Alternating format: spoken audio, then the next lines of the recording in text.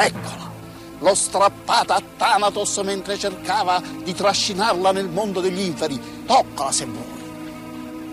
Admeto restò senza fiato, poi disse, ma perché non parla? È perché non si è ancora liberata dal contatto con la morte.